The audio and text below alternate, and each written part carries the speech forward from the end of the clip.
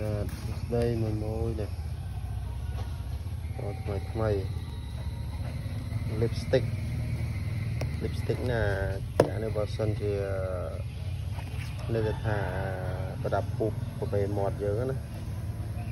lipstick នេះឈើគូប្រវេមាត់តែឈើគូប្រវេមាត់នេះអានេះវាមិនមែនឈើគូវាជា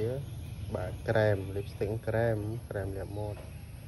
ឈើគូក្រែមលាបមាត់តែនេះក្រែមលាបមាត់នេះសម្រាប់ក្មេងៗគឺ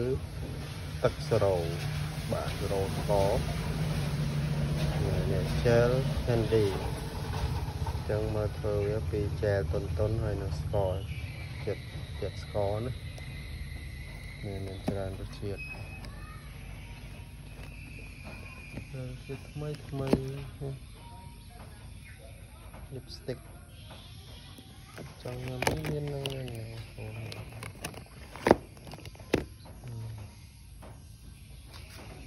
lipstick វា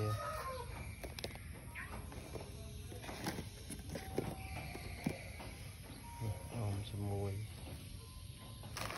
កាសូកូឡាសូកូឡាសូកូឡាសុតសូកូឡានេះដាក់ក្នុងកទូករឹងប្រយ៉ាងឆ្ងាញ់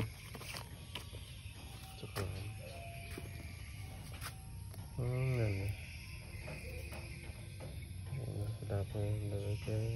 សស្កក្រមកផ្លែផ្លែយ៉ាងបងផ្លែផ្លែស្កក្រ